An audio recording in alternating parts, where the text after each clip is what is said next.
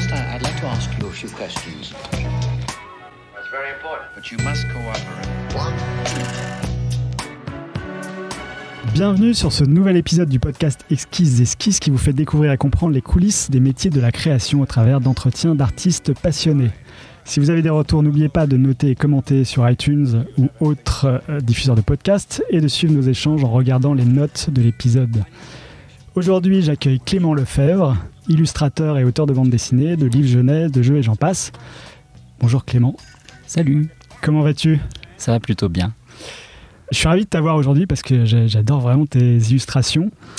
Euh, la première question, c'est comment t'en es arrivé à vouloir en faire un métier? Oh, le parcours a été euh, en dents de scie. Bah justement, c'est ça qui m'intéresse. Euh, ça a été, ouais, ça a été un petit peu compliqué. Déjà, c'est, pas né comme une, une vocation. C'est pas un truc euh, que je me suis raconté quand j'étais petit en me disant euh, quand je serai grand, je serai illustrateur ou je ferai de la BD ou un truc comme ça. Ça a dû m'effleurer un petit peu quand j'avais quand j'avais 15-16 ans, mais mais je pensais pas du tout que c'était quelque chose ni de réalisable ni quoi que ce soit en fait. hein. Donc le ouais, le parcours était un peu chaotique. J'ai commencé assez tard en fait parce que je je viens de fêter. Maintenant, je suis je suis presque fier de le dire alors que ça a été problématique pendant longtemps. je viens de fêter mes 40 balais. Félicitations. Et, euh, et du coup, euh, en fait, euh, j'ai euh, vraiment bifurqué à 30 ans. Donc ça fait 10 ans, 10 ans à peu près que je fais ça. Et le, avant j'étais graphiste, j'étais euh, j'étais freelance. Donc t'avais quand même l'envie de faire euh, quelque chose d'artistique. Ça fait des années que je dessinais, mais en autodidacte, tu vois, je faisais des choses euh, pas très sérieusement dans mon coin. Ça m'est arrivé de, je sais pas, de, de faire quelques euh, illustrations pour des, des, des- des expositions dans le, le café d'un d'un copain, par exemple. Des trucs assez moches, en noir et blanc d'ailleurs, c'était c'était assez lamentable. Euh, des petites choses, beaucoup des cadeaux en fait. Je faisais souvent des illustrations dans le but de faire un cadeau à quelqu'un. C'est-à-dire que les gens voyaient tes illustrations et te disaient euh, ça me plaît, j'en veux une aussi. Alors c'était non, c'était pire que ça, c'est que euh, je, je me disais tiens c'est l'anniversaire de un tel ou une telle, euh, je je sais pas quoi euh, lui offrir. Par contre j'ai envie de passer du temps pour lui fabriquer quelque chose quoi. Et en fait je faisais la plupart de mes images comme ça au départ, donc euh, un peu avec tout ce qui me tombait sous la main. Je travaillais avec du papier journal que je trempais dans du café à ce moment-là, puis je faisais des illustrations par-dessus à la- à l'acrylique ou à la gouache. Euh, des choses, je sais même pas si j'en ai encore des traces. C'est dommage. Sauf chez les gens chez, chez, chez qui, euh, Ouais. chez qui je me rends et qui, euh, qui ont encore le culot de mettre ça au mur. parce que c'est pas toujours très réussi. Il y en a certaines qui sont surprenantes euh, parce que, je sais pas, je devais être dans un bon jour, un truc comme ça. Mais voilà, en fait, l'illustration, c'était pour moi, c'était ça. C'était le passe-temps pour faire plaisir euh, à des copains, à la famille ou à ce, enfin, comme ça, quoi. Et après, tu t'es dit, du coup, je fais de l'illustration, donc je vais faire une école de graphisme. Alors non, parce que l'école c'était bien avant. Euh, L'école de graphisme, euh, les cadeaux, en fait, c'est venu dans la période où j'étais vraiment euh, freelance. Donc c'était une sorte de passe-temps à côté de ma profession qui était celle de maquettiste en fait. Euh, l'école, ouais, bah, l'école c'était c'était bien avant. ouais, je- je t'en ai raconté un petit peu tout à l'heure en privé. En privé. Euh, mais euh, mais euh, j'ai eu un cursus scolaire assez en dents de scie. Euh, J'étais pas du tout adapté à l'école. Euh, les seules choses qui m'intéressaient, euh, c'était de faire le- l'andouille avec les copains. Et puis j'ai quand même persisté jusqu'en seconde. J'étais en seconde art plastique à Chartres. Et puis et puis en, fin d'année, j'ai arrêté. J'ai décidé de plus aller au lycée. et de me, de me trouver une formation. Sauf que la conseillère d'ori- d'orientation, enfin tous les gens qui s'occupent un petit peu de, nous aiguiller sur notre avenir étaient complètement largués euh, par rapport aux professions artistiques. Et, je me suis retrouvé sans rien euh, en septembre. Ça a fait flipper mes parents euh, comme pas permis. J'ai entamé une formation dès l'été dans un... Dans un dans, dans une formation par la NPE, un truc subventionné, c'était rue Orfila à Paris, qui était une initiation au graphisme. Et c'est un peu comme ça que ça a commencé. C'est-à-dire que l'année a été assez chaotique. C'était euh, un vrai boxon. J'étais un peu désorienté. Euh, et puis, euh, malgré toutes ces choses un peu négatives, il y a eu quand même un petit bout de cette formation qui a parlé à ma sensibilité et qui m'a fait dire il faudrait peut-être que je trouve une école.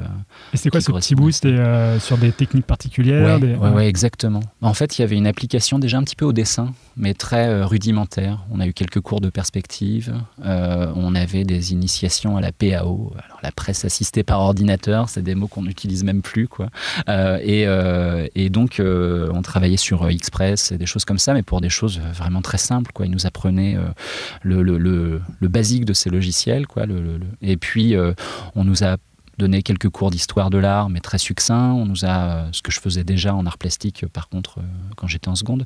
Mais c'était un, complément de, petites choses comme ça. Puis on nous donnait des sujets assez, assez diversifiés, créer une annonce presse, créer un truc comme ça. Donc, enfin, des, choses de cet ordre-là.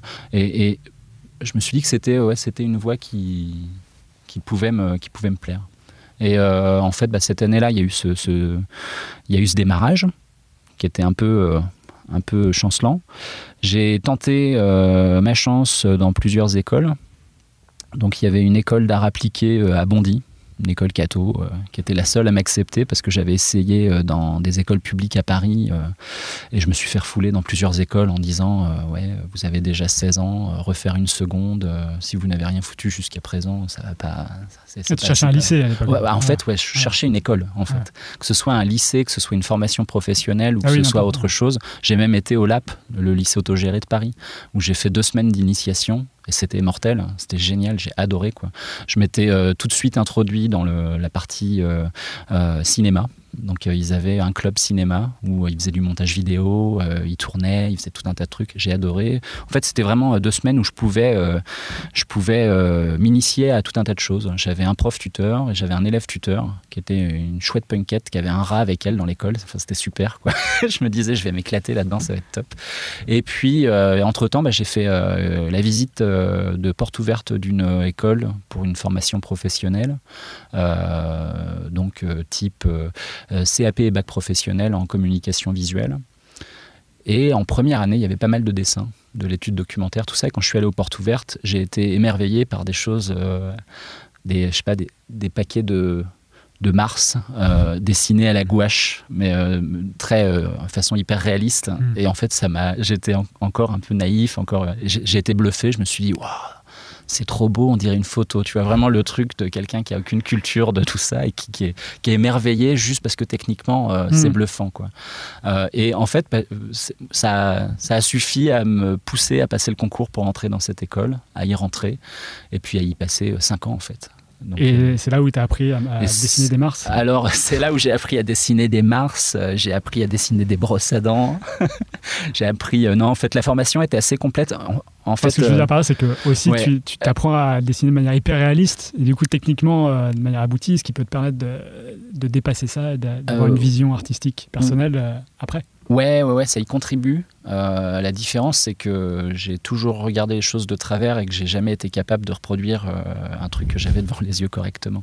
Donc je me débrouillais plutôt pas mal, mais il y avait toujours un truc qui clochait dans ce que je faisais. Euh, mais c'était pas grave parce que en fait, moi, ce qui m'amusait surtout, c'était de mettre la main à la pâte.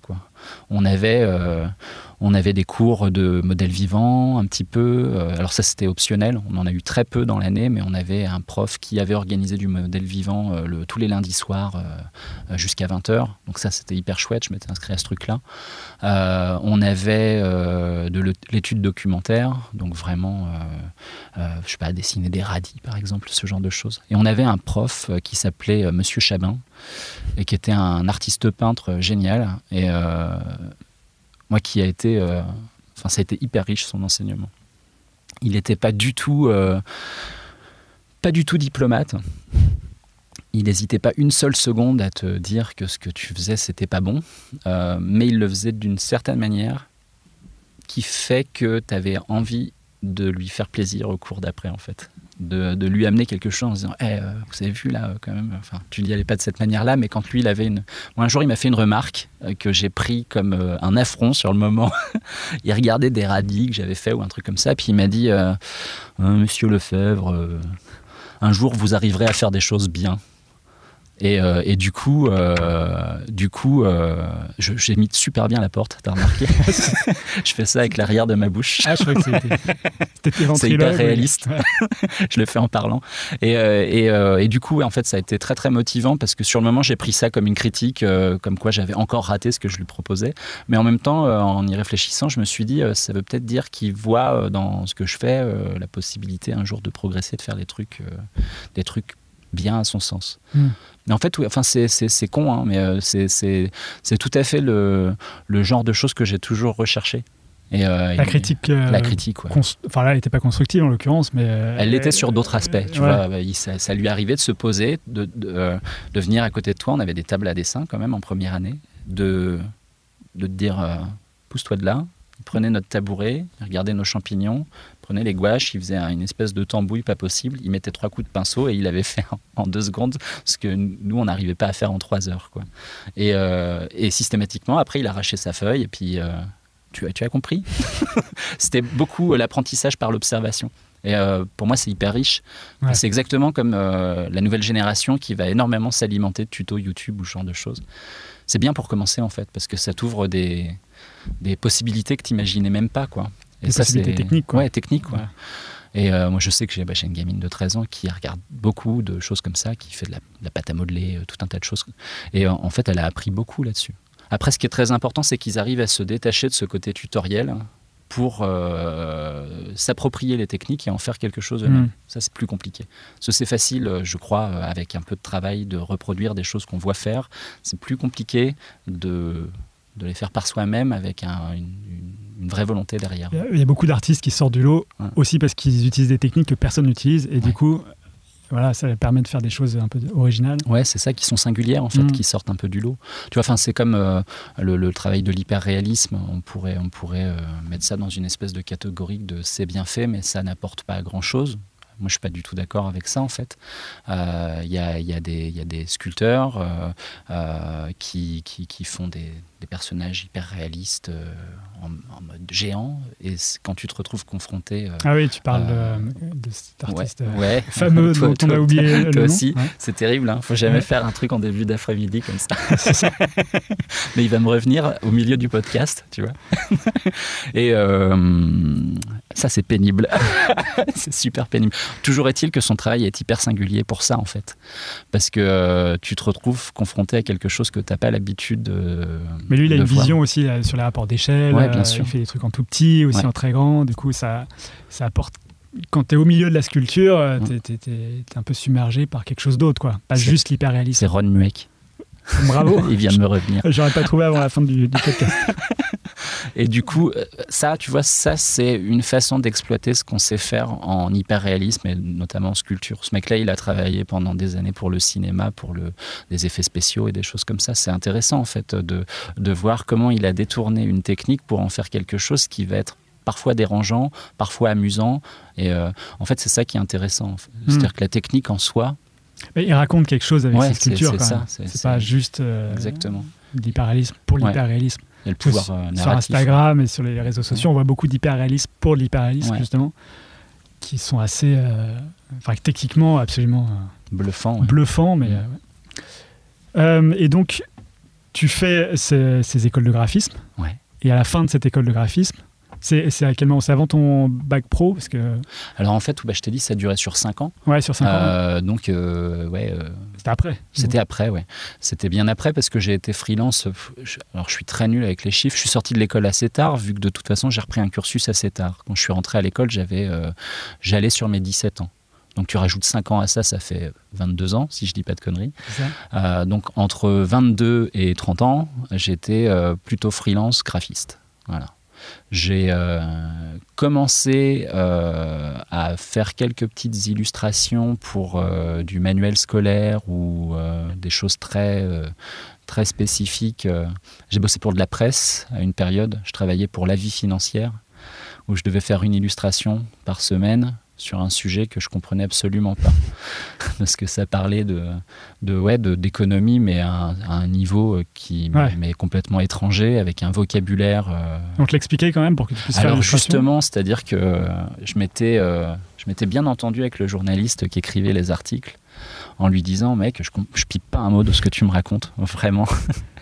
C'est soit tu m'expliques, soit on trouve une astuce. Et il m'a dit ah mais c'est très bien que tu me le dises. On va, euh, je vais faire des jeux de mots foireux dans les titres de mes euh, de mes articles. Et toi, tu te consacres à, ça. Ah, juste à illustrer le, titre, en fait. Et donc, c'était très drôle parce que. Enfin, je me souviens d'un truc euh, sur les varans, par exemple qui est euh, un terme en économie, mais je ne sais pas exactement ce que c'est, j'ai déjà oublié. Mais moi, j'avais fait ça très premier degré, quoi, avec des varans de Komodo, quoi, enfin des dragons de Komodo, quoi. Et donc, euh, l'illustration était complètement décalée par rapport à la nature de l'article, mais c'est ce qui les a amusés toute l'année. Ils n'arrêtaient pas de me dire, c'est vraiment chouette que tu comprennes rien à ce que tu, ce qu'on te demande de faire, parce qu'au final, ça apporte un autre regard. Voilà, un autre regard. Et tu as, dû dessiner beaucoup de requins, là. je crois que j'en ai fait un en plus. Euh, et, du coup, pendant toutes ces années de freelance, c'est plutôt à la fin de tes années de freelance où tu commences à faire plus d'illustrations ou euh, tu n'as jamais arrêté de l'illustration bah. Et un jour, tu te dis, tiens, quand même, l'illustration, ça me, ça me botte plus que le reste, il faut que je m'y consacre, j'y consacre plus de temps.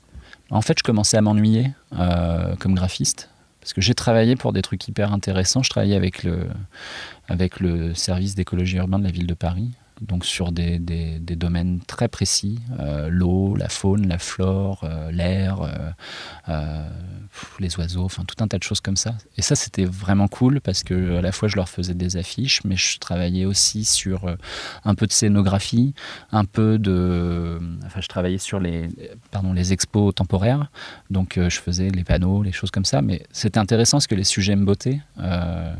et puis c'était souvent être en lien avec des artistes naturalistes, avec euh, des journalistes ou des, gens euh, attachés à la mairie dans ces services-là qui écrivaient, enfin, qui ont tous des cursus universitaires assez importants sur un domaine très précis, euh, je sais pas, sur Ouais, sur la faune et la flore parisienne, par exemple. Un truc qui est très spécifique parce que ça se développe d'une certaine manière à cet endroit-là et pas tout à fait pareil qu'ailleurs. Donc c'était intéressant ça. Et euh, petit à petit, en fait, euh, ça s'est étiolé. Euh, j'avais moins de commandes avec eux parce que, bah, pareil que partout, ils, restructuraient, ils baissaient, hmm. les, ils baissaient les, les, tarifs et tout ça. Enfin, il y a, j'avais vu en trois ans euh, mes tarifs réduits par deux. À un moment donné, je me suis dit c'est plus possible, quoi. Je vais pas, je, veux bien. C'est eux qui posaient les tarifs ou c'est toi ouais, qui ils posaient les tarifs en fait. Tu avais des appels d'offres pour chaque ah euh, projet euh, auquel je participais. On était trois ou quatre généralement. Donc déjà ça c'est un peu limite parce que tu produis déjà quelque chose qui est presque abouti pour qu'on te dise on prend ou on prend pas.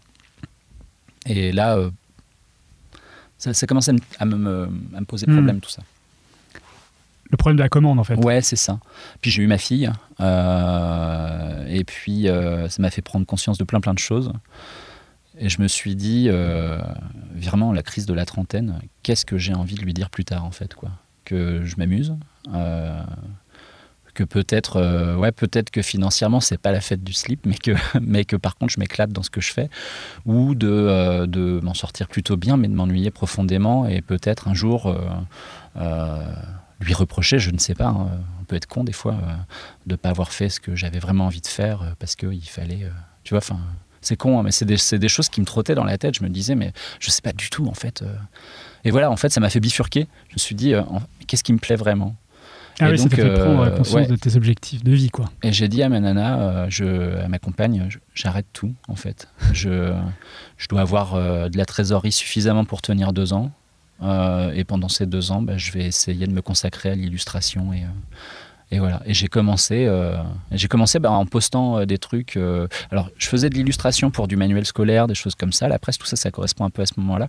Mais il y avait déjà aussi la remise en question de se dire. Hmm, c'est bien, c'est un bon entraînement, c'est cool, je suis content de faire ça. Bon, puis je trouvais qu'en délai, c'était plutôt cool par rapport à ce que je connaissais en, enfin dans la com quoi où il hmm. faut toujours avoir fait les choses pour hier quoi et c'était donc j'avais la capacité de travail que j'arrivais à prendre beaucoup de choses mais pas forcément des choses qui me branchaient plus que ça mais qui étaient un, bon exercice et puis euh, à un moment j'ai rencontré une, une, nana chez Nathan qui a pris sa retraite peu après euh, qui s'appelait Léa Verdun et qui m'a dit euh, je venais la rencontrer pour lui montrer mon book, travailler avec elle.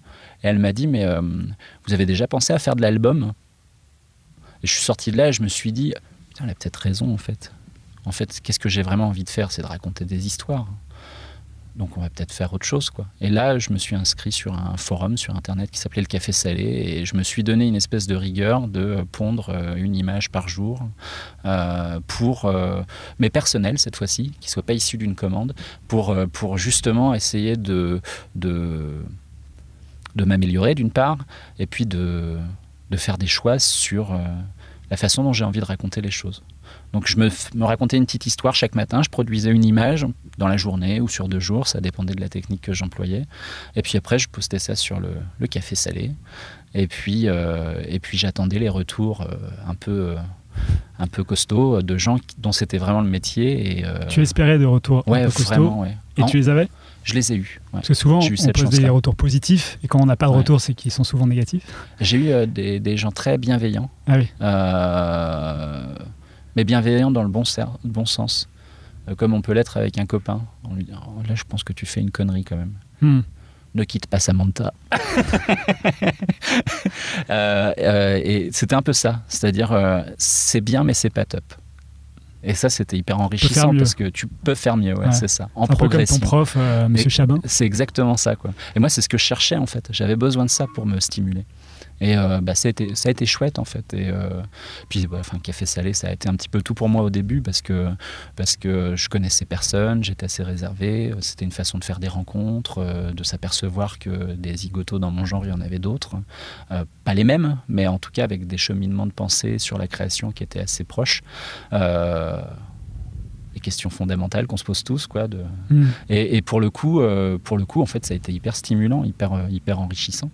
Et puis, euh, puis ça a été des rencontres euh, éditoriales aussi, parce que euh, Est-ce que tu as posté euh, pendant combien de temps Une à deux Enfin, Je serais incapable de te le dire. Six Enfin- mois Deux ans Ou alors tu continues encore aujourd'hui euh, Non, maintenant j'ai arrêté, mais euh, ça a duré peut-être euh, deux ans, ouais. peut-être, Deux ans peut-être. Et ton, ton premier contact éditorial est arrivé assez vite ou dû- Ouais, assez rapidement. ouais. Mais je continuais en fait.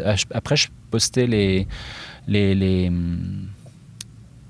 les pas à pas de mes bouquins, des tout premiers, euh, dont un qui est jamais sorti au grand public, mais qui était réservé aux scolaires, que j'avais fait avec Michael Escoffier, et qui est une catastrophe ce livre.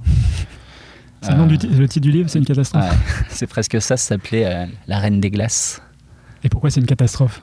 Parce que c'était ni fait ni à faire, quoi. C'est-à-dire que Dans la narration, dans le dessin, avec le recul, Le dessin c'était surchargé, euh, le style euh, était hyper hésitant. euh, c'était l'histoire d'une grosse fourmi, enfin d'une petite fourmi, euh, et c'était pour raconter le cycle de l'eau. Voilà, c'était une commande, c'était un album commande. Commandé par l'éditeur avec Michael Ouais. Escoffier ou En- c'est Michael Alors Escoffier commandé par l'éditeur, et euh, moi j'avais déjà commencé à travailler sur des projets qui n'étaient pas encore signés avec Michael, et j'avais proposé à cet éditeur de bosser avec Michael parce que euh, je trouvais ça cool qu'on bosse ensemble parce qu'on s'entendait bien. Vous vous êtes Euh, rencontrés sur le Café Salé aussi ou- Michael, je crois qu'il a vu mes premiers dessins sur le café salé. C'est marrant la, ouais, la rencontre avec Michael. Je crois, je crois qu'il m'a proposé euh, une période du salon de Montreuil euh, qu'on se rencontre parce qu'il connaissait mon travail et puis qu'on avait. Il m'avait envoyé des textes en, en me disant Michael, il fait toujours un peu comme ça. Il t'envoie et puis il te dit euh, tu prends ou tu prends pas. Donc il- des fois, il envoie 5-6 textes. Ça fait longtemps qu'on n'a pas bossé ensemble, donc peut-être Mm. qu'il fait plus comme ça, mais il y a une période, il avait plein d'histoires. C'est un mec qui est très prolifique, qui est vraiment talentueux, Ouais. qui, qui est capable de, de ah oui j'ai une idée, puis le lendemain il t'a pendu le texte quoi. Et tu te dis oh, ouf. Alors ça veut pas dire qu'il va pas le retoucher et tout ça Mm. après, mais n'empêche que c'était sa méthode de travail. Et moi il m'a envoyé plein de textes, dont un qu'il avait fait un peu sur mesure, euh, parce qu'il trouvait qu'il y avait des choses un peu un peu singulières, un peu dérangeantes dans mes illustrations. Il, il aimait bien euh, ça. Et il m'avait proposé un texte qui s'appelait Le voleur d'enfants, qui est devenu un livre pour enfants euh, qu'on Mm. a signé chez Chocolat Jeunesse à l'époque. Et euh, donc on était en train de travailler sur ce projet-là avant qu'il soit signé, et puis on, on a bossé avec cet autre éditeur. Et bon, bah, on a pris du plaisir à le faire, mais moi c'est un livre que j'aime bien montrer. Des fois je, reçois des stagiaires, moins maintenant parce que j'ai plus trop le temps, et puis euh, j'ai des, choses professionnelles qui se bougent en ce moment qui font que je vais pas pouvoir euh, euh, non plus continuer à recevoir des stagiaires trop régulièrement. Mais j'adore montrer ce livre-là parce que souvent ils viennent en connaissant que je fais euh, chez Métamorphose notamment, Ouais. euh, la collection Métamorphose, mais ils connaissent pas les trucs que je pourrais faire pour de la commande par exemple. Et ce truc-là est pour moi le bon exemple de ce qu'il faut pas faire avec un livre jeunesse. Il est pas, euh, il est pas nul le livre, mais il est surchargé. Il y a trop d'infos sur les pages. Il y a de- des, des- la technique, euh, alors oui, c'est pas c'est pas primordial, mais mais euh, faut qu'elle soit un minimum maîtrisée, quoi. euh, La technique, la perspective, les couleurs, Ouais, la les couleurs, la, la- la façon de travailler ses brushes, parce que j'avais travaillé entièrement sur ordinateur sur celui-ci.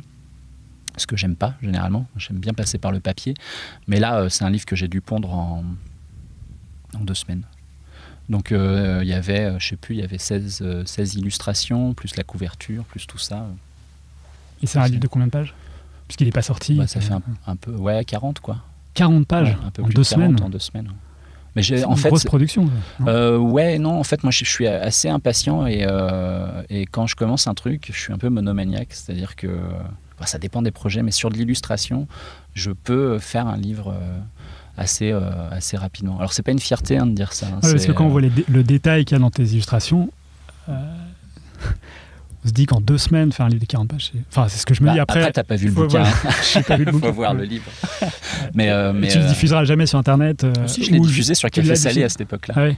Parce que j'avais besoin de retour, parce que je voyais bien que j'avais la tête dans le guidon et que euh, j'avais, je manquais de recul. Donc si on fait une petite recherche sur Café Salé, on peut retrouver. Euh, ouais, sauf qu'à cette époque-là, il fallait passer par un hébergeur d'images. Ah oui.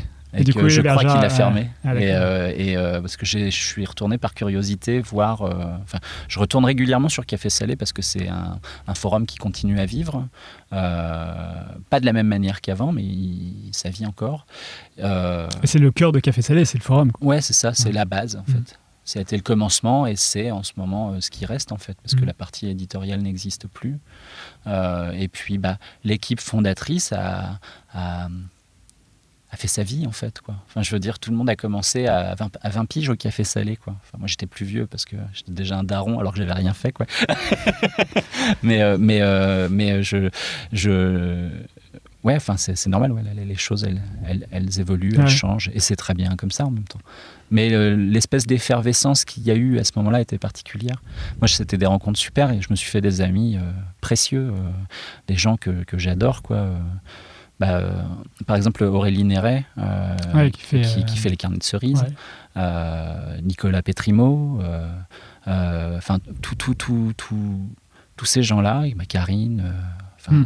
je vais pas les Kness, citer tous, ouais, c'est- des, des, des gens euh, que je vois pas tous de- avec la même fréquence, mais que je suis toujours ravi de voir. Et Hmm. puis, euh, il y a- ouais, certaines personnes, Aurélie est devenue une, une vraie amie. Quoi. C'est le, départ de ta carrière d'illustrateur. Ouais, puis euh, c'était marrant parce qu'on a commencé en même temps aussi. Euh, Ouais. Chez Métamorphose, on a été à peu près démarchés au même moment euh, par l'équipe éditoriale et puis on a commencé nos livres à peu près en même temps et ils sont sortis à peu près en même temps. Voilà. Donc Alors on va revenir sur tes, ouais, sur tes projets perso Mhm. et sur tes projets éditoriaux. Euh, mais du coup, si je comprends bien, t'as jamais vraiment trop démarché pour faire tes livres. Euh, bah, en fait, j'ai eu un peu le cul bordé de nouilles. Sur, euh, en fait, je... ces métiers-là, c'est assez étonnant. Alors déjà, c'est de la rigueur, du travail. Il y a un rapport à la constance qui est très important. Ouais. Dans la mesure où si on a planté plusieurs de ses clients pour des questions de délai euh, ou de ses éditeurs, on peut vite se retrouver complètement grillé dans ce milieu. Euh, quand tu euh, essaies de faire les choses au mieux et que tu respectes des délais, que tu fais ton travail avec le plus de, de volonté possible, même si c'est pas parfait, hein, de toute façon, enfin, le travail d'un artiste en général, ça, c'est jamais parfait, ça, ça- s'améliore avec le temps, euh, dans le meilleur des cas, euh, mais, euh, mais les éditeurs sont conscients de ça et ils viennent te voir sur le moment. Et puis bon, si tu es régulier, que tu fais bien le truc, que en plus il y a le, rapport sympathie, enfin, moi j'implique beaucoup les gens avec qui je travaille dans ce que je fais. Un éditeur, je ne considère pas qu'il m'a fait une demande, que je fais le truc, qu'il n'a pas le droit de regard. euh, non, pour moi, c'est un truc qu'on construit à plusieurs, en fait. Et euh, moi, je suis suffisamment largué dans tous les sens euh, pour pas, pour parfois me manquer de discernement sur certains trucs. Et c'est très important pour moi euh, d'avoir un échange régulier avec les gens avec lesquels je bosse, que ce soit les auteurs avec lesquels je bosse, que ce soit les éditeurs ou n'importe qui d'autre. J'adore qu'on construise les choses à plusieurs. Au final, c'est moi qui construis l'image, c'est des idées parfois qu'on a construites à plusieurs, euh, mais euh, pour moi c'est pour aller au, mieux. Voilà. Et donc ce métier il est fait de ça, c'est-à-dire que si de ce côté-là ça se passe bien, et puis après il y a le facteur chance. Et le facteur chance... Est-ce qu'il existe vraiment ce facteur chance? Parce que si tu continues à, à- à travailler, à poster, à te faire, à te faire voir, finalement, la chance arrive naturellement. Bah, bah, on va dire que c'est des petites choses qui s'imbriquent. Mhm. C'est-à-dire que si tu la provoques pas d'une certaine manière en Oui, ça, créant de la visibilité et puis en étant sérieux avec les gens avec qui tu bosses, c'est sûr qu'il va peut-être pas se passer grand-chose.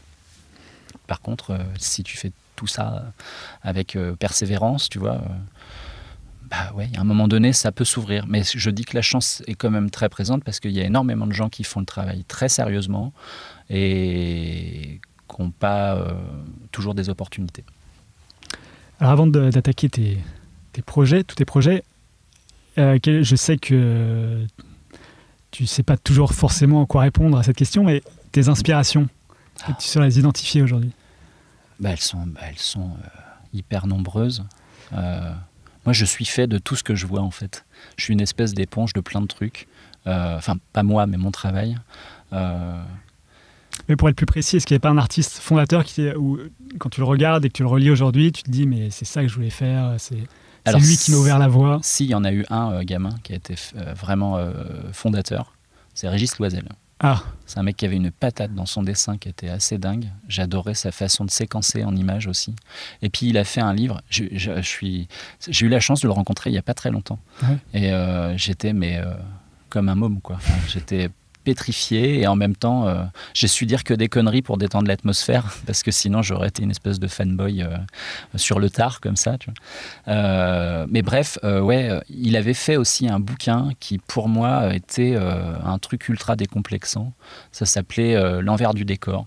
Et c'était un bouquin où il racontait un peu son, son, sa façon de bosser. c'était pas sur Peter Pan, l'espèce Exactement, d'artbook où on voyait des calques. En fait, c'était euh, un, c'était un whip avant l'heure. Quoi. Ouais. De comment, euh, comment il avait construit cet album, euh, quelles étaient les contraintes euh, techniques, par Ouais, exemple. ouais.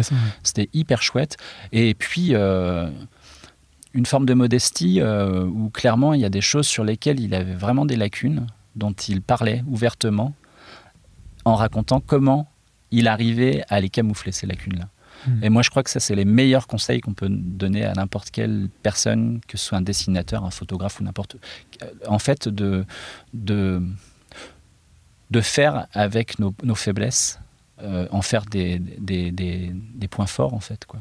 Lui, ça a amené une vie incroyable dans la quête de l'azo du temps. Il disait que s'il y avait des hautes herbes dans tous les sens, c'était pas pour rien, c'était pour cacher les pieds Ouais, des personnages. ouais. Et c'est génial en fait, parce que tu te dis, euh, il a créé une ambiance de malade euh, avec ses, ouais, ses, ses- ses- prairies euh, ultra, euh, ultra denses et tout ça, juste pour une connerie de pieds euh, sur lesquels il complexait. Quoi. Et euh, c'est génial, Enfin, franchement. Et du coup, toi, tu les connais Enfin, tu as réussi à identifier tes faiblesses Ah, et les contourner Ouais, j'en ai énormément. Ouais.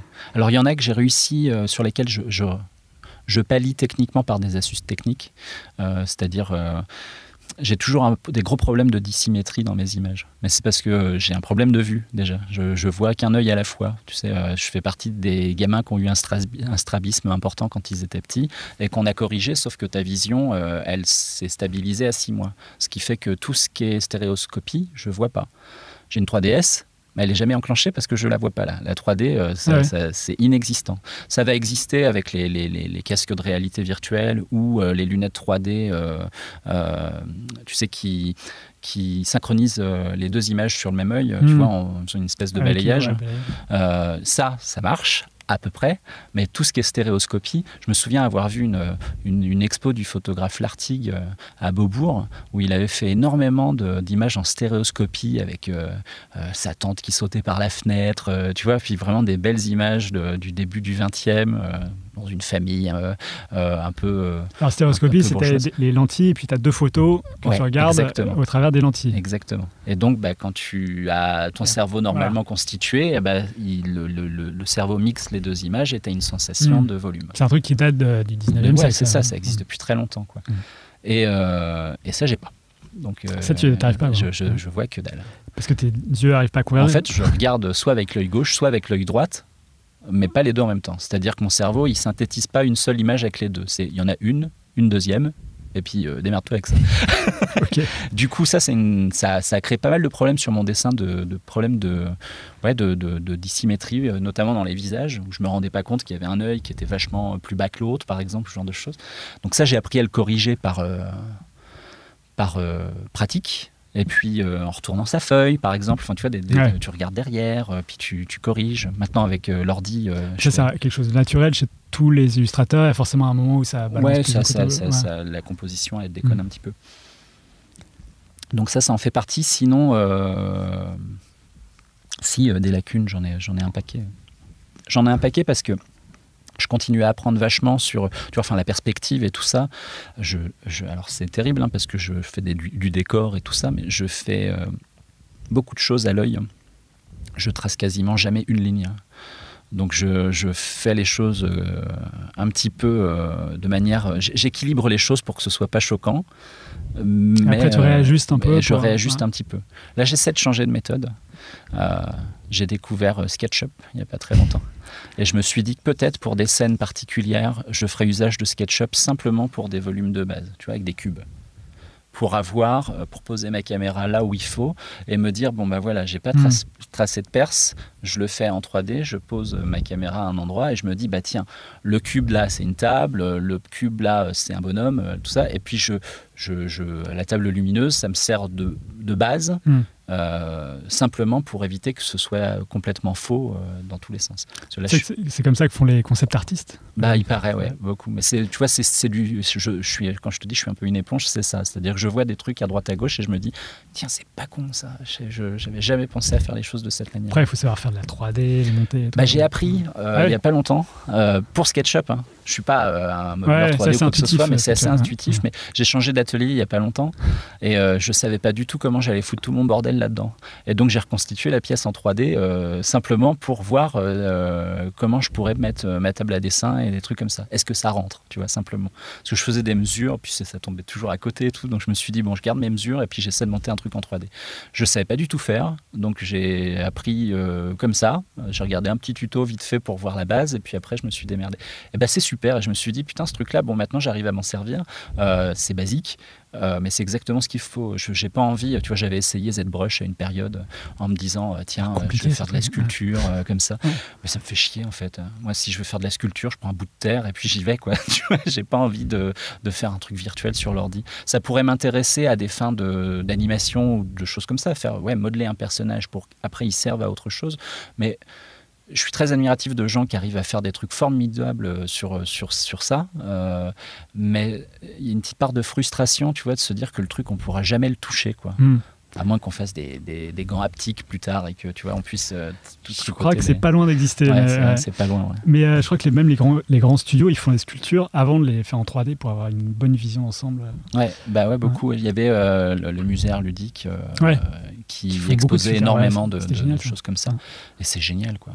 Tu, tu regardes euh, les prémices euh, ou, ou même euh, un personnage bien avancé qui a été sculpté par un, par un mec ultra, euh, ultra balèze et qui.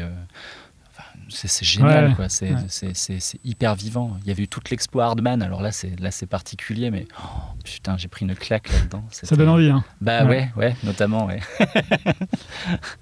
Euh, par- par- commençons à parler de tes projets un peu parce que euh, Leur tourne. Leur bavard. non mais c'est super intéressant. Et, euh, et ton premier livre édité du coup c'est le Déserteur si je ne me Ouais. trompe pas, Ouais. une chanson euh, de Boris Vian. Ouais. Euh, comment ça s'est passé comment s'est passée sa genèse? Alors, euh, Qu'est-ce qui t'a donné l'idée euh, alors j'ai pas eu l'idée. Ah t'as pas On eu me l'a proposé. Ah d'accord.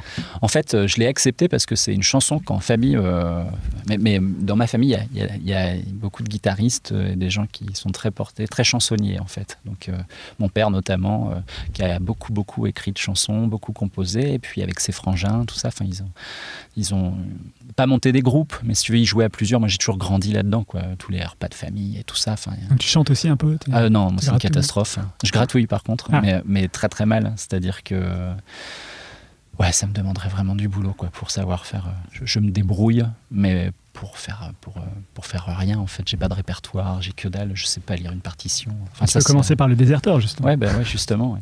Et du coup, alors le déserteur, ouais, c'est bien de me ramener là-dessus, sinon je vais encore euh, me On va disperser. sur la musique. Et euh, du coup, euh, du coup, le déserteur, c'est un éditeur qui s'appelait Petit à Petit qui m'a proposé ce texte-là. Et comme je le connaissais très bien, pour l'avoir beaucoup entendu, j'ai accepté. Mais en fait, on avait un deal ensemble. C'est-à-dire que je lui avais proposé à l'époque le voleur d'enfants. Et il m'avait dit euh, Ok, on fera le voleur d'enfants, mais d'abord, je voudrais te proposer euh, ce texte de Boris Vian, ça sera pour les 50 ans de sa mort, euh, Le déserteur. Et je me suis dit, bah, super idée. J'ai vraiment envie. Et je me suis éclaté à faire ce livre-là, mais bon, il n'a pas tenu ses engagements, parce qu'on Ah. n'a jamais fait le voleur d'enfants avec lui, donc il m'avait niqué un petit peu là-dessus.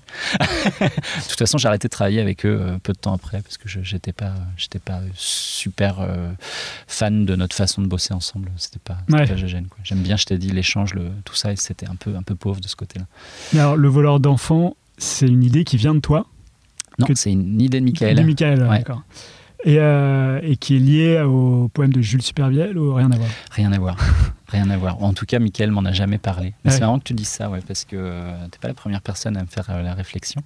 Et, euh, et du coup, non, pas du tout en fait. Ça vient, ça vient de la simple idée que euh, avec Michael, on avait commencé à discuter un petit peu de ce qu'on aimait. Moi, je suis un, un grand, grand admirateur de, de Maurice Sendak euh, et de et de Tommy Ungerer.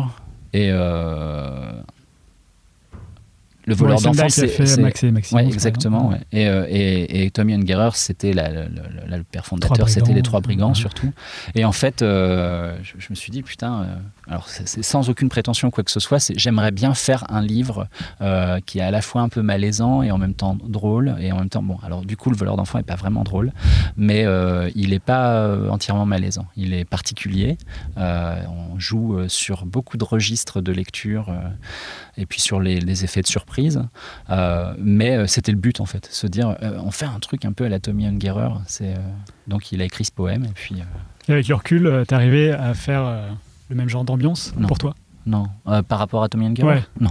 Ouais, non, mais tu peux pas lui arriver à la cheville à ce mec-là, c'est impossible.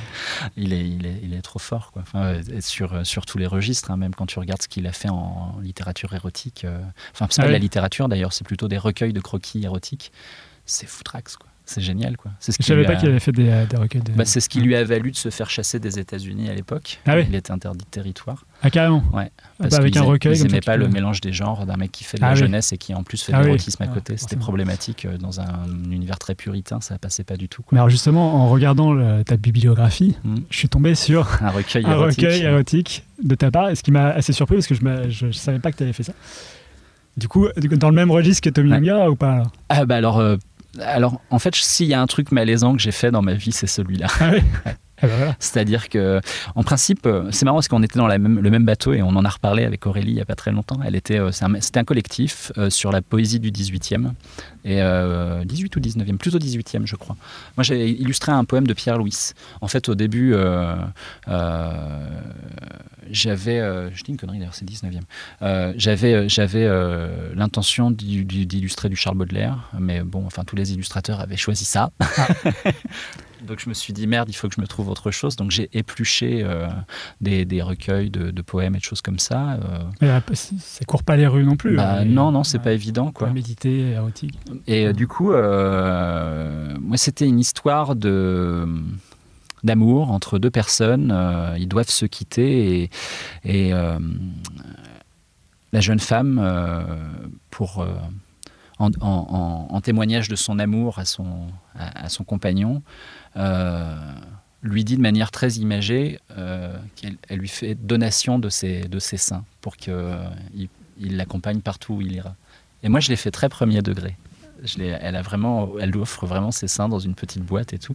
Donc, en fait, la littérature érotique, généralement, ça sert euh, un petit peu à, à faire divaguer l'esprit, à créer, euh, euh, faire- ouais, à, émoustiller un petit peu, tu vois. Il y a Mm. ce, ce rapport-là. Sinon, c'est c'est pas trop rigolo, quoi. Enfin.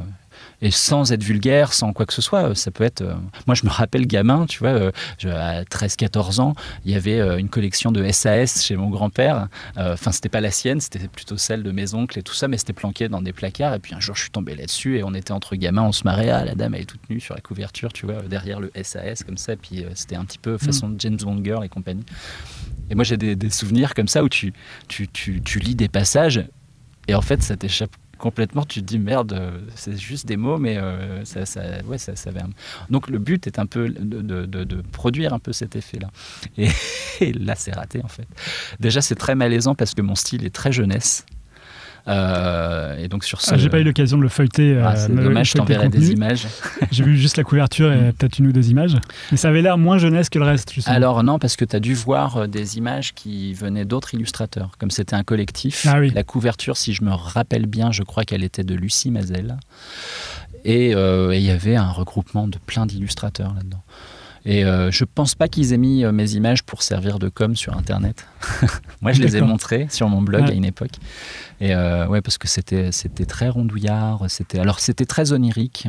Euh, le mec, elle prenait des, je sais plus si c'était dans le poème exactement, mais elle prenait des, bains de lait avec des pétales de rose, des choses comme ça. Et puis lui faisait l'ascension de son corps euh, en étant un tout petit bonhomme, tu vois. Euh, et il grimpait le long d'elle, il descendait en rappel le long de ses seins et tout ça. Enfin, il y avait une espèce de jeu comme ça qui était, euh, très amusant, très, moi que j'ai, je me suis éclaté à imager parce que c'était chouette, quoi.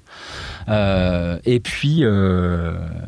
Euh, et puis, euh, puis voilà, quoi. le résultat final, c'est euh, une espèce d'ovni euh, au milieu de ce recueil érotique où c'était très porté sur la sensualité. Moi, j'en ai fait un truc qui, au final, euh, on dirait de l'illustration jeunesse, mais. euh, et puis, C'est ça que tu trouves malaisant, le décalage Ouais, entre le décalage entre le, sujet de et, euh, et euh, ce que j'en ai fait. Ouais. C'est-à-dire que, en fait, ça aurait pas été un recueil érotique, ça aurait été un jeu autour de la poésie érotique. De faire, euh, je trouve que ça pourrait coller, mais au milieu de toutes les planches qu'il y avait dans ce, c'était un recueil de BD, hein, euh, donc sur toutes les planches qu'il y avait, euh, elles, elles dénotaient vraiment par un, un côté, Mm. euh, ouais, très très spécial. Du coup, ça donne envie de, Ouais, voir ce que ça a donné. Euh, alors justement sur le côté euh, malaisant, la première fois que je t'ai vu, je crois en vrai, c'était au workshop euh, Café Salé justement en 2011, où tu étais en train de dessiner une, euh, une petite image d'un chaperon rouge Mm. au milieu des bois, euh, voilà, avec des, des loups. Et, je me souviens au début de ton dessin, tu disais j'ai vraiment envie que ce dessin fasse peur, mais vraiment super peur. Mm. Et du coup, comme tu ra- racontes ça, euh, le fait de, que ce soit malaisant, le décalage, Mm. etc. Et euh, tu disais mais je suis sûr que je vais pas y arriver. Et aujourd'hui, avec le recul, est-ce que tu peux dire qu'il faisait autant peur que tu le voulais Euh, non, parce qu'en fait, il y a un truc, c'est que c'est souvent doux amer ce que je fais. C'est-à-dire qu'il y, y a un côté, enfin, je sais, enfin, moi, je suis surtout dans la, dans la jeunesse.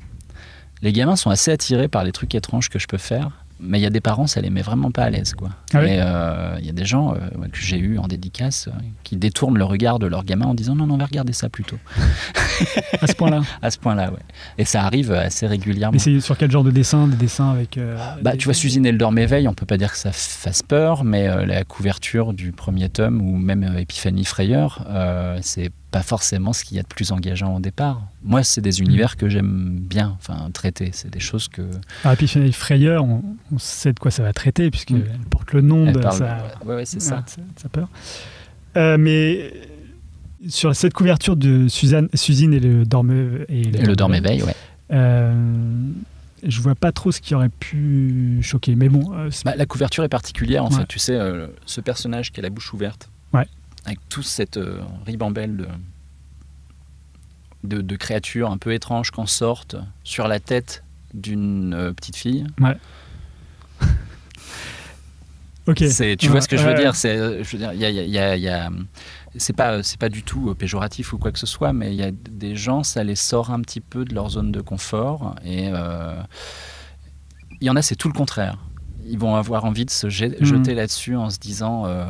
Euh, ah, euh, ça me fait penser à Miyazaki, ça me fait penser, tu vois, à des choses comme ça, euh, euh, parce que c'est, moi, ça fait partie de mes influences aussi. euh, euh, euh, pas uniquement, mais euh, c'est des choses qui m'ont, le voyage de Chihiro m'a carrément euh, Ouais. euh, switché. Quoi. Enfin, je, Mhm. le, mon, mon cerveau a, a fait trois vrilles et, euh, et je, je suis allé le voir cinq fois au cinéma et ça m'a complètement. euh, je connaissais pas encore la culture yokai à ce moment-là et je voyais toutes ces créatures et je me disais, mais c'est incroyable ce truc, quoi. c'est complètement dément. Quoi. Ouais. Tu vois, c'est un peu comme des trucs comme Planète Sauvage ou ce genre de choses, justement. Tu vois, je, je dis pas je ça. porte un t-shirt. un t-shirt mais tu vois, c'est des trucs qui sont vraiment très très singuliers. Quoi.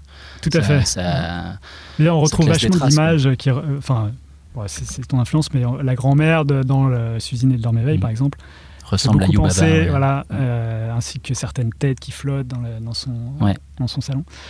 Euh, alors justement, sur ce livre, Suzine et le Dorméveil, euh, je suis très intéressé par la façon dont il s'est fait, parce que j'ai lu pas mal de choses. Mm. Euh, c'est sorti sur, dans la collection Métamorphose, Mhm. qui est dirigée par euh, Barbara Canepa chez Soleil, Mhm. qui est quand même une, euh, une collection d'excellence au sein de la, la diversité des BD qui sortent aujourd'hui. Parce qu'il y a quand même une couverture vachement. euh, Enfin, vachement. Ils ont un soin particulier voilà, très- ouais, pour un la fabrication et tout ça, fait. ouais, bien sûr. Du coup, comment Barbara est arrivée à te contacter euh, et comment vous avez comment s'est passée la collaboration à ce moment-là? Euh, de manière hyper simple en fait. Euh, C'était aussi sur le euh, café salé ou pas Ouais, en fait, euh, ouais, en fait, l'image de couverture, elle vient d'une illustration que j'ai fait pour une expo Café Salé qui s'appelait Rêve et cauchemar. Voilà. J'ai produit ce truc-là de manière complètement euh, instinctive, c'est-à-dire que j'avais une idée de base fait en, en format po- post-it, tu vois. Et puis, je me suis laissé la liberté de construire le truc au fur et à mesure, d'inventer les personnages sur place et tout ça.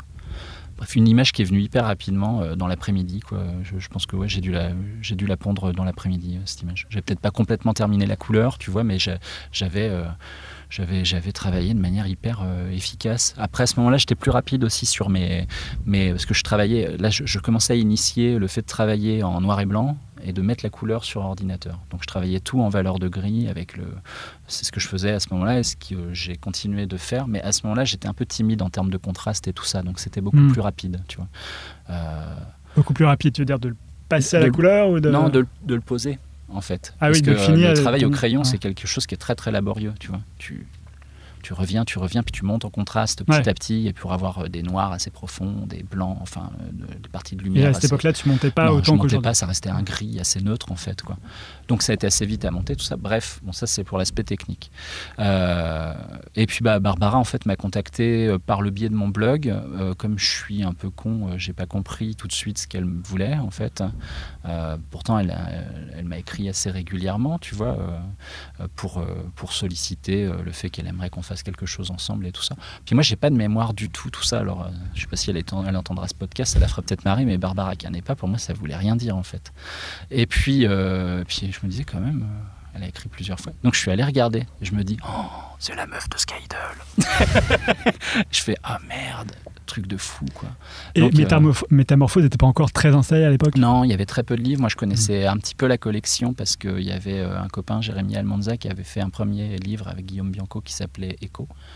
Et euh, voilà, c'est à peu près la seule chose que j'avais vue euh, chez, Café, euh, chez Café Salé, lapsus, chez Métamorphose. Et puis, il y avait Cœur de papier aussi, un livre qui avait été écrit justement par Bruno Hena, avec qui on a construit Suzine Elle dorme éveille.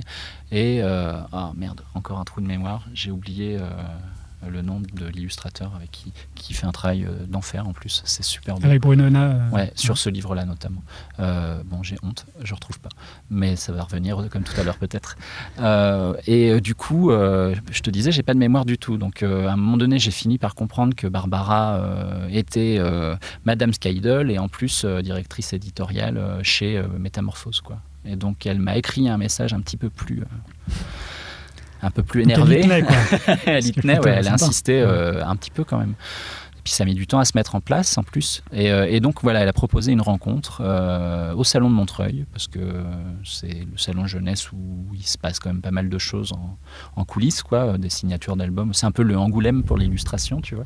Euh, et du coup, du coup bah, on s'est on s'est retrouvés là-bas. J'étais extrêmement intimidé.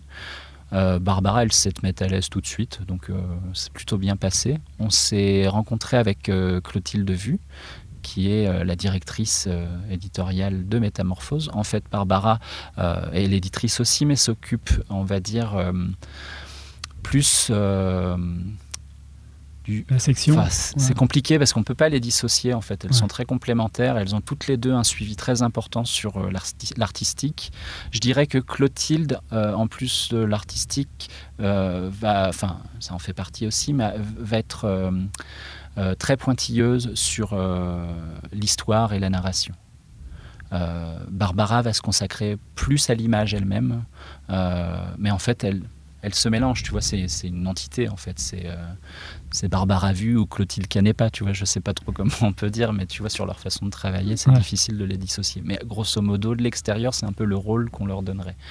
Euh, plus, bah, euh, Clotilde est, très carrée sur la partie fabrication et tout ça, en plus, tu vois, euh, de, de, tout ça. La différence, c'est qu'en fait, Barbara, c'est une auteure qui donne son savoir-faire à une maison d'édition pour son, son œil artistique et tout ça, et Clotilde, c'est une éditrice, vraiment, tu vois, elle, je crois elle a commencé comme journaliste, il me semble, et puis elle est devenue éditrice, et c'est vraiment. Euh, hmm. c'est voilà, c'est, je, je, on va dire que techniquement et tout ça, c'est, son rayon.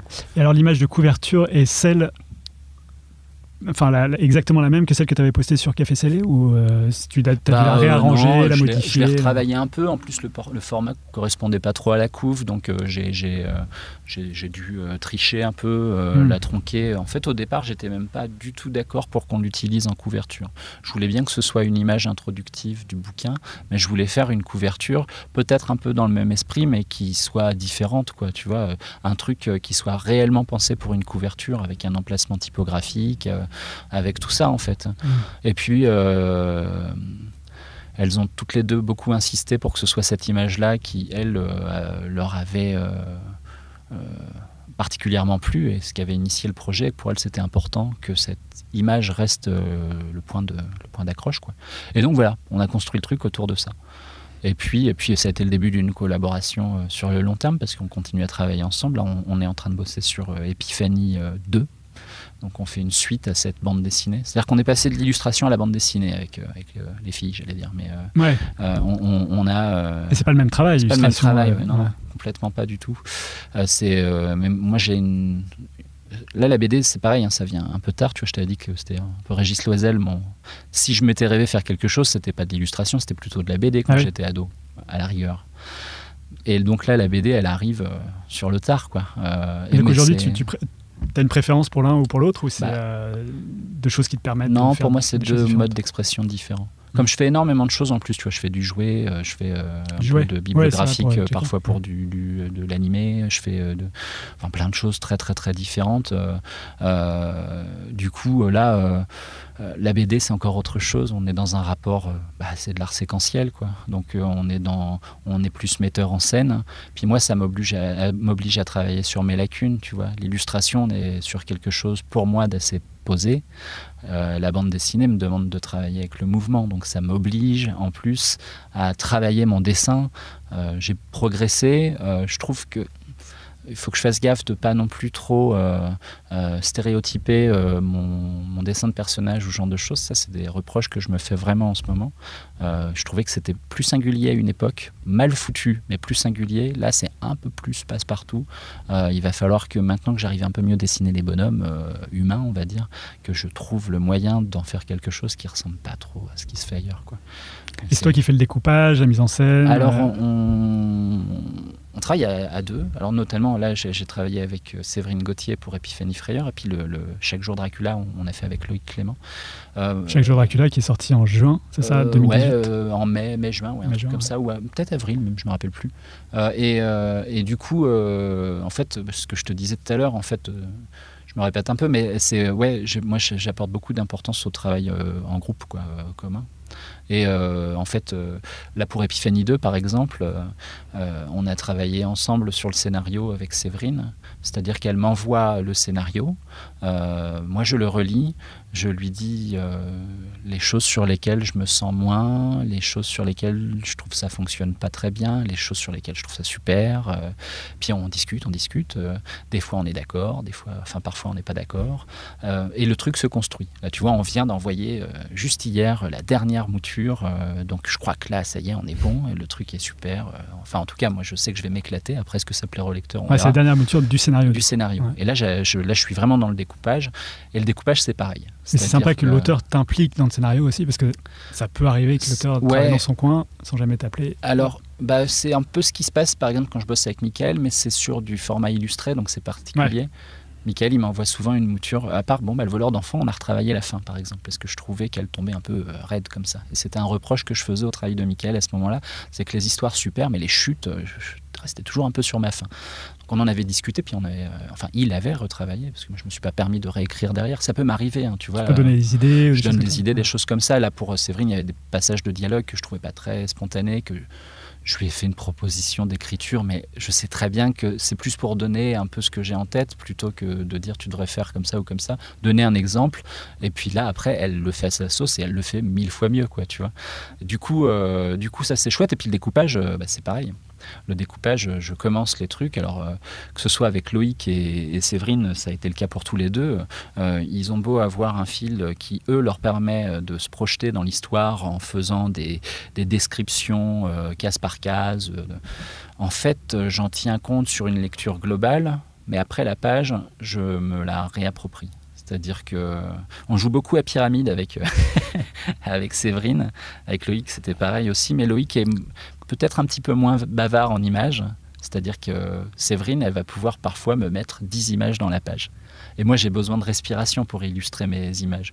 Donc je, lui dis, euh, allez, on, ne le fait pas en 10, on le fait en, en 6 ou en 7. Ça, c'est un échange. C'est un échange. Donc moi, je construis le truc, je lui fais une proposition, on voit si ça dénature pas ce qu'elle avait envie de dire. Et puis, euh, si c'est plus efficace ou quoi que ce soit. Elle part toujours du principe qu'elle, elle a besoin de se projeter. Mais grosso modo, je suis libre. C'est euh, moi qui fais la mise en scène et après on en rediscute. Et quand ça lui convient pas, ben, on, défonce tout et on recommence quoi. C'est ce qui est intéressant. Moi, c'est ça que j'aime bien en fait là-dedans. Hmm.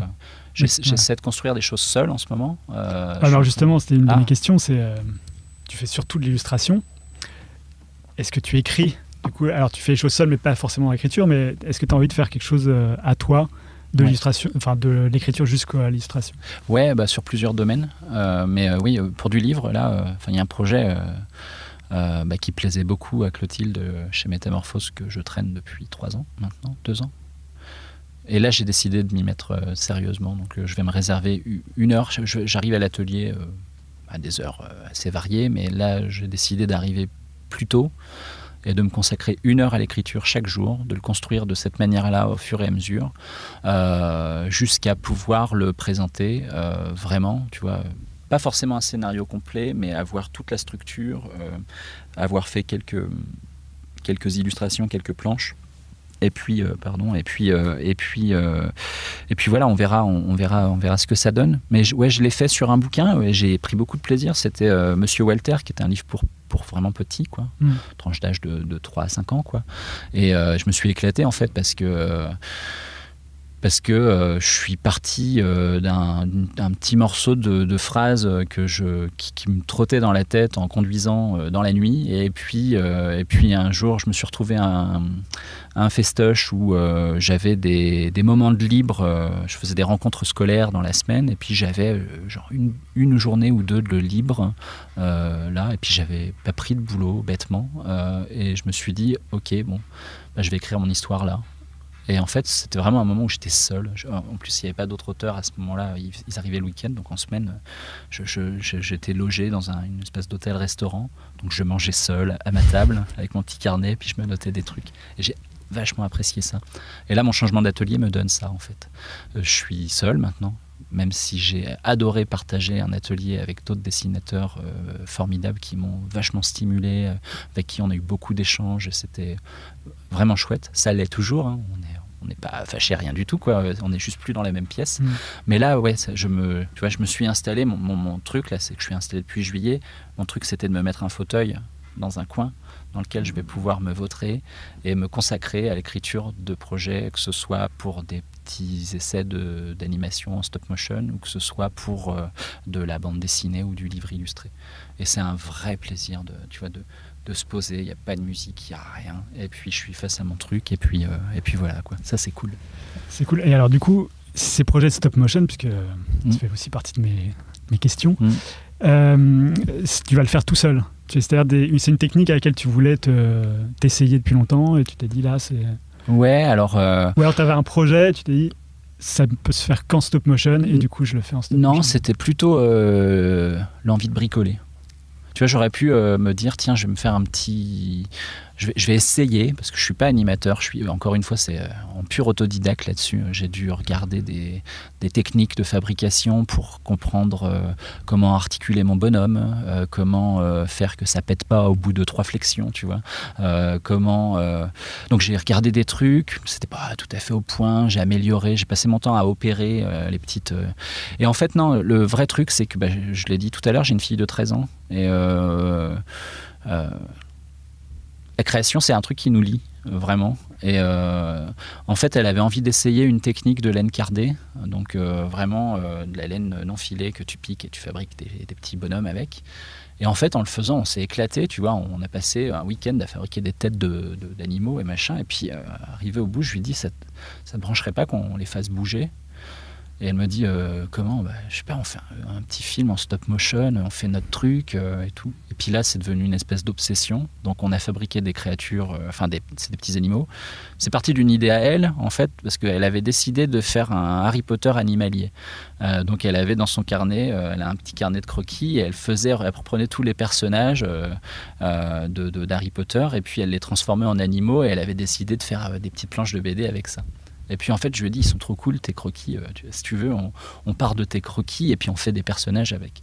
Bon, là, on est en train de s'éloigner un peu d'Harry Potter. euh, on est toujours un peu là-dedans, mais euh, voilà. Et, et du coup, euh, là, j'ai pas de temps plein là-dessus.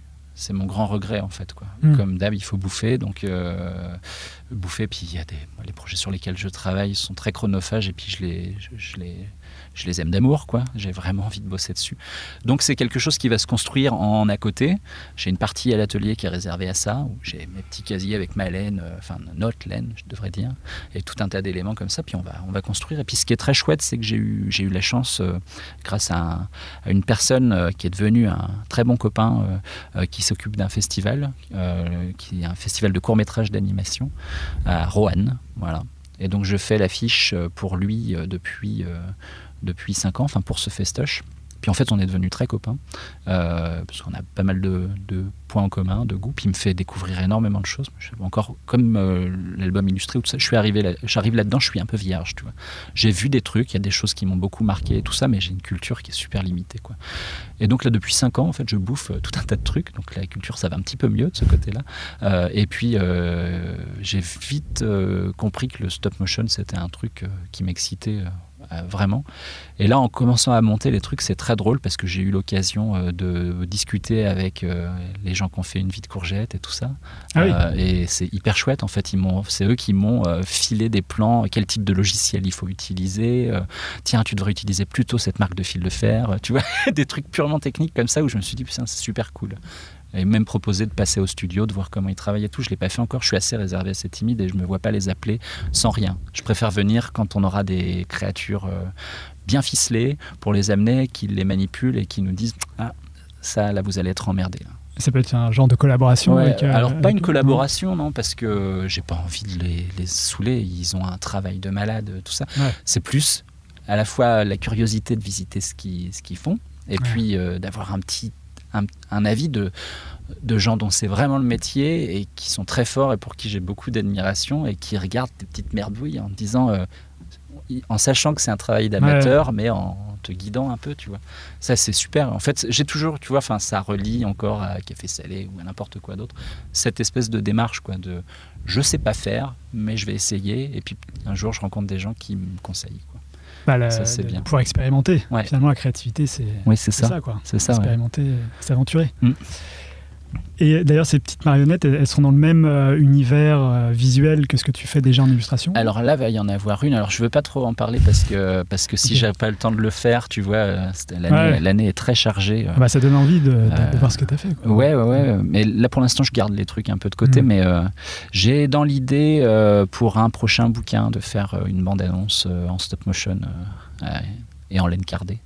Donc le rapport visuel sera très différent de ce qu'il y a dans l'album lui-même, on va dire euh, en termes de morphologie et tout ça, mais, mais euh, le lien se créera euh, tout seul. Et ça, ouais, ça, ça, ça, ça, ça me- ça m'excite un peu. Après, il faut avoir le, temps. Ce qui est génial là-dedans, c'est que c'est comme quand tu. Enfin, c'est du bricolage en fait, quoi. Je suis plus du tout dans une application du dessin où je suis en train de.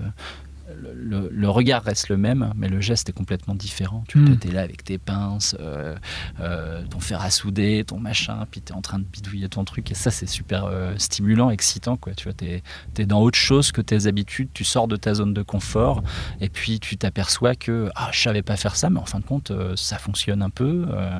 et c'est ouais, super, super bien. Et ça, pour plein de domaines. J'ai envie de faire de l'huile en ce moment. J'ai envie de faire plein de trucs comme ça.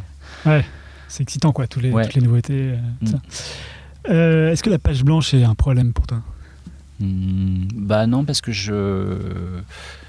enfin. Le doute euh, de pas savoir faire les choses, ça c'est omniprésent. Euh, mais comme je suis toujours attaché à, à de l'écrit, j'ai pas le problème d'un d'un artiste peintre ou tu vois qui va se retrouver face à sa toile et de qu'est-ce que je fais aujourd'hui? Moi j'ai le j'ai le j'ai mes scénarios, mes textes, euh, euh, mes boulots de commande, c'est pareil. Il y a toujours un petit brief, un truc comme ça. Ouais. Donc Après, pour tes projets personnels ah, pour mes projets perso, euh, euh, non, euh, mon vrai gros handicap, c'est alors c'est part le temps, puis aussi le fait que j'aime bien procrastiner, quoi. Et euh, c'est-à-dire qu'il y a des moments où je devrais absolument, mais je suis crevé, tu vois. Enfin, je fais plein de Ouais. trucs en même temps. Je fais euh, là, en- rien qu'en ce moment, euh, entre la BD, euh, le, là, ça va être le début d'un job de prof que j'ai jamais fait avant, donc ça va me demander beaucoup de travail. Le- tu, vas- tu vas être prof au Gobelin, là, tu m'avais dit. en prépa, ouais, en prépa. C'est tout nouveau, c'est c'est une espèce d'aventure invraisemblable. euh, J'ai la trouille, mais c'est cool. Non, enfin, tu vois, c'est- bien, c'est c'est chouette. Encore une fois, c'est stimulant, tu vois. Puis là, en plus, euh, c'est des, ça va être des étudiants euh, qui, qui sortent de bac et tout ça, tu vois. euh, donc, ils, ils sont gourmands. Enfin, c'est ce qu'on m'a raconté, on verra. J'ai pas commencé, mais, Ouais. mais c'est vendredi prochain mon premier, mon premier truc. Et, euh, Enfin, il y a plein de choses, tu vois, à discuter, à faire essayer, à tout ça. non, ça va être captivant. Du coup, en fait, ça, plus des projets en, en gestation, plus. Ça laisse peu de temps à la procrastination. Et, et quand j'ai un moment euh, où je peux ne rien faire, j'aime bien en profiter, en fait. Donc, euh, je vais mettre de côté, malgré moi, des choses que je pourrais faire personnellement, mais que je fais pas parce que j'ai besoin d'être en famille, j'ai besoin d'aller me promener, j'ai besoin de, Ouais, bien sûr. de jouer à des jeux. enfin, tu vois. Et euh, du coup, aujourd'hui, on peut dire que tu as réussi à, à être euh, dans ton univers créatif euh, à 100%, voire à 200%, puisque tu fais Mm. plein de choses en plus de tes projets, etc. Euh, Est-ce que tu sais pourquoi tu crées en réalité? Oh, la grande question. Ouais, grande question existentielle. Ah En bah, fait, est-ce que c'est juste pour partir à l'aventure? Est-ce que tu as une vision euh, à long terme de ce que tu veux faire? Est-ce que euh, une envie d'une possible bah, tu sais, quand t'es gamin, tu dessines parce que tu te fais chier. Je crois que j'ai pas changé. en fait, euh, c'est pas que je m'ennuie. J'ai- J'aime bien m'ennuyer. hein. Euh, mais en fait, quand, quand je produis rien pendant une, ça fait longtemps que c'est pas arrivé. Mais il y a un moment où j'ai l'impression d'être à côté de moi-même, en fait. Tu vois, Euh, un truc à la con comme ça où tu te dis, mais euh, à quoi je perds mon temps exactement, tu vois et raconter des histoires et tout ça, en fait, c'est une prolongation de ce qu'on fait toujours. Tu commences par jouer avec tes, tes Playmobil ou tes G.I. Joe ou je sais pas quoi, tu Mm. vois, euh, tes masques. et, euh, et, puis, euh, et puis un jour, bah, tu as l'occasion, par persévérance et tout ça, d'en faire un petit peu un métier. Après, les aspérités sur, le long terme, moi je me suis toujours laissé porter en fait. J'ai eu de la Bah, chance. Pas complètement, puisque tu as changé à 30 ans, travaille, tout ça, euh, tu t'es dit, Ouais, t'as je vais arrêter le graphisme, et je vais me consacrer à l'illustration. Est-ce que tu avais une vision d'ailleurs à ce moment-là que tu as réussi à accomplir aujourd'hui ou que tu as encore envie de continuer à Il y a des complexes qui sont passés un petit peu plus de côté. Parce qu'en fait, euh, le fait que j'ai pas osé pendant euh, des années euh, faire ans, quelque chose qui me Ouais. plaisait vraiment à côté, tu vois, c'est euh, c'est le sentiment d'illégitimité, tu vois. Tu, tu, tu regardes le travail de plein de gens et tu trouves ça trop bien et tu te dis, euh, je vois pas ce que je vais amener de plus et puis en plus je sais pas faire quoi. Et donc pendant, enfin si tu pars de ce postulat-là, tu peux Tu ne rien faire ouais. pendant très longtemps. Et en fait, j'ai eu juste la chance de réagir à un moment donné. En fait, ma chance, c'est ma fille, quoi. De se dire, merde, voilà, bon, peut-être falloir que je me remue le cul maintenant. et c'est c'est juste ça. Maintenant, euh, euh, tu vois, j'avais pas projeté. euh, je t'ai dit, je m'étais laissé deux ans. quoi. J'avais deux ans de trésorerie. Si au bout de deux ans, ça n'avait pas pris du tout, euh, bah, j'aurais arrêté et puis j'aurais repris mon, mon, job dans la com. Quoi. Mais tu t'es donné les moyens que ça réussisse aussi. Mais j'ai, ouais, j'ai essayé. quoi. J'ai claqué nos économies. Quoi. et, euh, et, voilà. quoi. Et puis euh, au, au, final, euh, au final bah, c'est c'était pas la fête non plus, tu vois, au bout de deux ans, mais je sentais bien qu'il y avait un, un petit intérêt qui, qui, était en train de se créer autour de tout ça. Donc tu te dis, bon, il y a peut-être espoir, et puis euh, et puis il y a une autre personne formidable dans ma vie qui est ma compagne en fait, hein, qui, m'a dit t'inquiète pas quoi, vas-y quoi, euh, c'est cool, moi j'aime bien ce que tu fais, vas-y. Et euh, bah c'est ouais, c'est un coup de bol, tu vois. J'avais pas de contraintes matérielles qui font que tu peux pas prendre de risques, tu vois. J'aurais été seul avec un enfant à travailler pour nous et tout ça, ça aurait été impossible en fait. Hmm. Là, euh, bah oui, j'avais un peu de sous de côté euh, de quelques années de travail où j'avais bossé comme un fou. Euh, euh, j'avais euh, une compagne qui me guide et puis voilà quoi. Enfin, c'est. En fait, quand je te dis la chance, c'est un peu ça. C'est, tu vois, c'est. Ouais, j'ai tenté les trucs, mais à un moment, c'est, t'es bien placé, quoi. Tu vois, c'est, t'es, as des, des, chemins devant toi et puis tu es, es, pile poil dans le carrefour qui te permet de les emprunter. Tu vois, t'es pas à côté, t'es pas tout ça. Enfin, la métaphore est pourrie, mais c'est. je visualise le truc. En même temps, je me dis c'est trop à chier. T'en feras un dessin. Ouais, c'est ça. On comprenne bien. La métaphore ratée. Ça du coup, aujourd'hui, tu es, heureux dans ce que tu fais. Et euh, est-ce que tu as encore une vision de ce que tu as envie de faire pour plus tard? Bah, euh, déjà euh, construire des projets en solo euh, vraiment. L'animation est un truc qui me branche vraiment. Tu as envie de pratiquer l'animation toi-même ou de faire des projets avec d'autres. Euh, des gens qui savent faire euh, d'une part. Et puis il y a le jeu vidéo aussi ouais. c'est un truc qui m'a pas quitté depuis que je suis ado enfin, s'il y a une période j'étais un peu snob en me disant non c'est un truc de gamin ouais. tu vois quand tu rentres au lycée et que tu touches plus à une console parce que tu as trop l'impression que tes potes vont te prendre pour un crétin enfin de notre génération enfin de ma génération euh, y a, moi per personne ne jouait quoi euh, quand, euh, quand j'étais au lycée les copains ils avaient tous une, Nintendo un truc mais qui, qui, mourait dans un placard. Alors que moi elle était branchée en permanence. Et quand j'ai fait un moment bah, je, jouais à des, conneries quoi. Enfin pas que des conneries d'ailleurs à des trucs super tu vois. Euh, euh, mais euh, ça me passionnait. Puis une période j'ai un peu arrêté. Puis quand j'ai été salarié parce que oui, ça je t'ai pas dit mais j'ai été salarié pendant deux ans quand même avant d'être freelance. Donc notre calcul est faux. Il y a six ans de freelance en fait. Et il y a deux ans en agence. Et ma première paye je l'ai claqué dans une GameCube avec plusieurs jeux.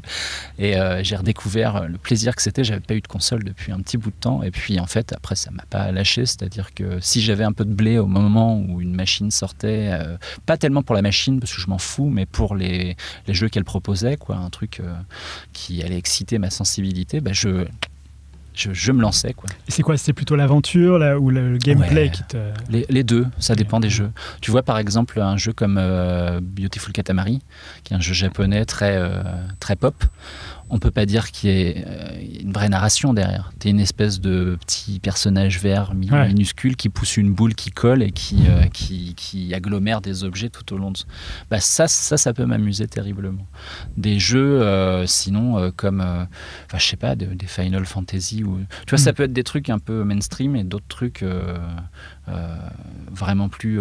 plus enfin, tous les jeux indés là qui sortent en ce moment, c'est c'est génial quoi. Enfin ouais il y a une je grosse joue à des trucs genre Hollow Knight et tout ouais. ça enfin c'est cool quoi c'est grâce à des plateformes comme Steam ou des choses ouais. comme ça parce que sans ça ah ils sont durs à trouver hein. après là tu vois j'ai une Switch maintenant et euh, ils éditent de plus en plus de jeux. C'est cool parce que tu peux les emmener où tu veux et ça c'est bien. Euh, et, et, du coup euh, ouais il y a des trucs euh, euh, que je découvre là-dessus euh, dont j'avais entendu parler toujours mettre dans mes petites valises de trucs qu'il faudrait que je fasse un de ces quatre où là je me dis ah tiens celui-là il existe là-dessus. Bah, je vais le tenter. Et euh, bah, c'est super en fait quoi. C'est vraiment euh, c'est hyper créatif. C'est pas euh, euh, techniquement euh, bah ouais on sent que les budgets sont limités mais cette contrainte euh, oblige à la créativité. Et puis à côté de ça on on est loin des standards euh, grand public euh, qui, moi, personnellement, euh, à part quelques exceptions, euh, tu vois, un GTA, je prends du plaisir à jouer un GTA. Euh, mais euh, en soi, les jeux où on se tire dessus, ça me fait vite chier, ouais. en fait. S'il n'y a pas une réelle histoire derrière, parce ouais. que souvent l'histoire sert le côté je te tire dessus. Mmh plutôt que l'inverse. Mm. Du coup, euh, ouais. J'ai des appréhensions personnelles. Mais tu vois, par exemple, je, là j'attends avec impatience la sortie de Red Dead Redemption 2, qui est un jeu de cow-boy. Ah Et, oui, euh, Un super, Le premier jeu, ouais. était incroyable, quoi. fabuleux. Référencé au cinéma et tout ça, c'était super, quoi. Du coup, c'est pas du tout raccord avec ton premier livre, Le Déserteur. C'est ça. c'est ce que tu voulais dire par le fait que tu as des appréhensions. Voilà. Le fait de tirer sur tout le monde. Exactement. Parfait. Euh, bah, c'est bien parce que comme ça, on va pouvoir finir, euh, Mm. puisque la boucle est, est bouclée, sur ma dernière question. Euh, quel- Est-ce que tu as un film ou un livre euh, ou n'importe quel autre euh, objet culturel qui t'a marqué ces derniers temps? Euh, bah là, si, en ce moment, euh, il y a un bouquin, je suis en train de lire un bouquin d'Alain Ray, qui est un, auteur belge euh, de- du début du 20e, quoi, fin 19e, je dirais, un truc comme ça. Et c'est des histoires de fantômes. Je kiffe les histoires de fantômes. Et comment s'appelle le livre? Bah, ça s'appelle Histoire de fantômes. Ah, Histoire de Ouais. fantômes. Ok. Et euh, c'est non, c'est hyper bien. C'est hyper bien. En fait c'est un recueil de nouvelles euh, qui euh, qui regroupe euh, soit des anecdotes réelles, soit mais anciennes, hein, tu vois, avec De vrai, avec des maisons hantées. Ouais, des choses ouais. comme ça, ouais. des purgatoires, des trucs comme ça. Enfin, c'est assez, assez amusant, quoi. Et puis, et puis d'autres complètement pipotés, je crois. Mais, mais en fait, c'est, ouais, c'est super. Il y a un côté Alan Poe, mais mais dans une, une- un autre registre d'écriture. C'est un peu flippant? Euh, que ça dépend des fait histoires. pour être flippant Alors, à l'époque, je pense que ça devait faire un tabac. Maintenant, euh, tu le regardes avec un recul un peu différent. Parce ça, c'est, tu vois, enfin, Poe, euh, c'est cool, quoi. Moi, je, je trouve ça hyper chouette, mais je peux pas dire qu'en les lisant, ça me tord le bide, quoi, tu vois. En fait, je vais être plus sensible à des trucs un peu métaphysiques. Bon, il y en a chez Poe aussi, mais euh, euh, tu vois, des. des, euh, par exemple, si on prend euh, La quatrième dimension, qui est une série dont je suis complètement euh, fan, euh, euh, j'avais chopé le coffret avec toutes les premières saisons et tout ça. Bah là, y a, pourtant, tu vois, c'est assez désuet dans la façon dont c'est filmé. Moi, je trouve ça très beau parce que c'est du noir et blanc. Il y, y a vraiment un travail de la photo qui est hyper chouette. Et puis, et puis la mise en scène, pour tenir sur euh, 30, 40 minutes, c'est hyper bien ficelé, c'est hyper bien vu. Quoi. Et là, pour le coup, il y, a des- des histoires, euh, tu vois, qui trottent dans la tête hyper longtemps et tu te dis. euh, Hmm. ah putain, ouais, mais imagine que. et là, ouais, là, ça te fait un peu bader. Donc, ouais, euh, sinon, ouais, il y a ça. Il y a ça. euh. Et puis, ah ouais, si en musique aussi. Il y a un truc que j'ai Ouais, découvert il n'y a pas très longtemps.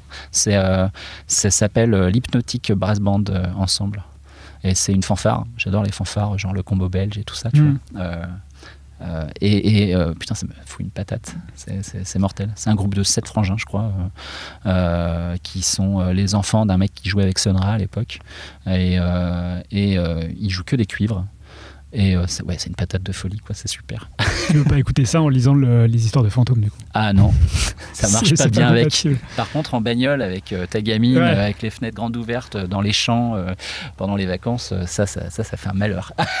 Ok. Bah écoute, euh, Clément, merci beaucoup d'être venu. bah merci à toi pour Un vrai plaisir. C'était très chouette. Et euh, j'attends avec impatience tes prochaines sorties alors. Ouais. Parce qu'il y en a une dont on n'a pas parlé, dont je voulais parler d'ailleurs, c'est euh, le Petit Chaperon Rouge Ah, là, qui ouais. sort euh, le qui 12 sort octobre. c'est le 12 octobre? T'as eu des, J'ai eu les infos sur la Fnac là. Ah, pas mal, parce que j'avais lu, ouais. j'avais lu fin septembre, et puis Ouais, moi aussi, et puis en- en m'a pas répondu quand je lui ai posé la question. Alors ça affiché sur la Fnac. Peut-être qu'en physique ça 12 sort dans les bonnes librairies avant. Ok, Hmm. ok. Ah, c'est bien ça, ça, ça approche. Ça approche, ouais. bah merci beaucoup. Ouais, merci à toi. À bientôt. À bientôt. Voilà, c'est fini pour aujourd'hui. Si vous êtes arrivé jusque-là, c'est que l'épisode vous a sans doute plu. Alors n'hésitez pas à le partager, en parler, le commenter ou m'envoyer un mail sur alex.moonpalace.fr, ce qui m'aidera à poursuivre ces entretiens. Merci et à dans deux semaines pour un nouvel épisode. Refuse.